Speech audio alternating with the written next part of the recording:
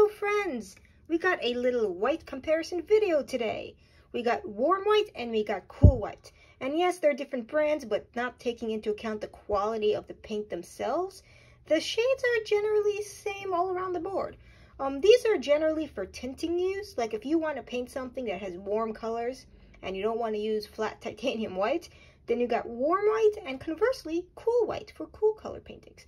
Um, we're going to compare it straight up to a titanium white from Williamsburg. I'm using completely different brands all across the board today.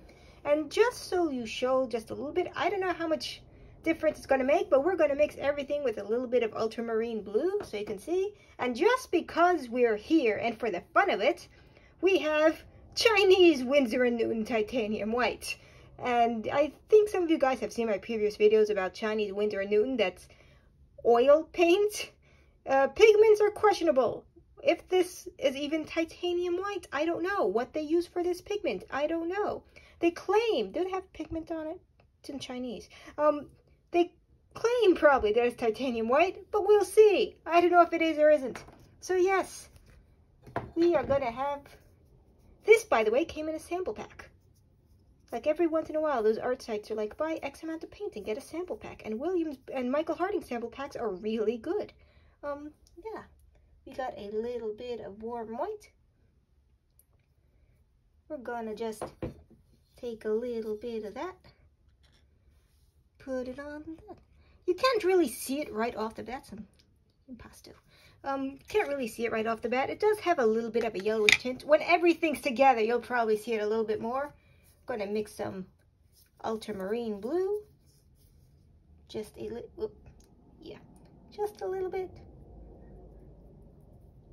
Michael Harding is one of my favorite brands, but I'm slowly getting into Blue Ridge, even though they're a little bit more pricey. It's gonna look just like normal white mixed into it at first. I wasn't sure what color to use to like mix it in, but blue seemed like a good middle ground. And now we're gonna clean off the paint. Gonna just, a clean palette knife is a happy palette knife. Gonna get my garbage can out. There we go. Now we're gonna get the cool white. Yeah. Cool white's probably not gonna have much of an effect on blue, but I didn't want to mix like a bunch of different colors into this. So we have cool white. Which looks like a white. Yes. We got a little bit of cool white. There you go. You can see it now. You can see it now, the blue versus the yellowish there you go. We got something out of this. You got a little bit of ultramarine. Just a little bit. Trying to go for 50-50. Yeah. See, did I not do 50-50 or is it just... Yeah, that's more or less the same. it's a little bit more blue because it tints that way. Okay, one more time with the clean. Clean palette knife. Use a happy palette. There we go. Into the garbage it goes. Now we're going to compare with the good old Williamsburg titanium white.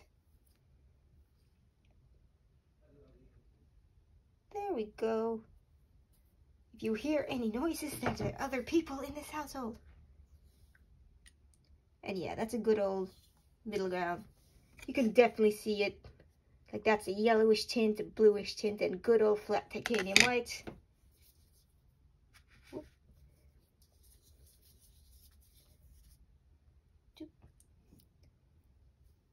Once it's mixed with another color, it doesn't seem to be that apparent.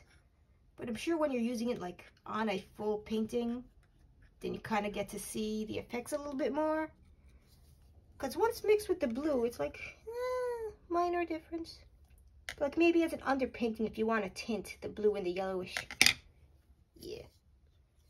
Gotta clean this up. And now we're gonna look at Chinese titanium white. See if that does anything at all. I kind of like the Chinese Winsor & Newton. Like if you want to go plein air painting and you're afraid that you're going to lose your paint, or if you're traveling, just pack some of these cheap Wish uh, you can get them on Wish. Chinese Winsor & Newton. And yeah, the pigments are all wrong, but they're cheap. So if you lose them, it's not the end of the world. Ooh. That's a lot. yeah, that speaks to the quality. Look at that. That looks like an egg. Like that has so much yolk in it. Wow, that is okay. Okay. That's more that's that's more liquid than paint, but okay. Good job, Chinese Winsor Newton. Chinese Winsor Newton is not related to actual Winsor & Newton, just so we're making that clear. They're a... China, I think, has this law. Don't quote me on this. I could be wrong. China has this law where you can only have things that are made in China to the Chinese population. Um, like you need special permission. So I think they just license it out, the name. Wow, that doesn't do anything. That doesn't do anything. Do I need more white to tint this?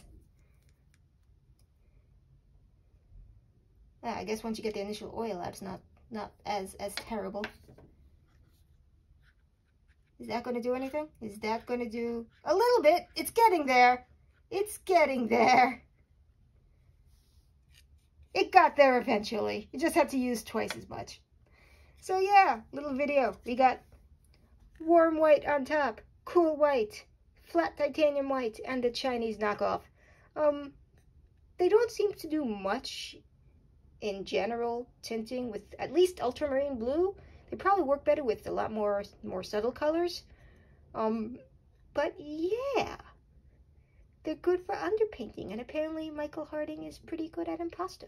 I did not know that because I usually paint things very flat. But yeah, don't use the Chinese Winsor Newton unless you want don't care about carrying cheap paints around and maybe you'll lose them but yeah thank you guys uh have a good day. I'll be back in a week with more weird painting videos. Thank you. Goodbye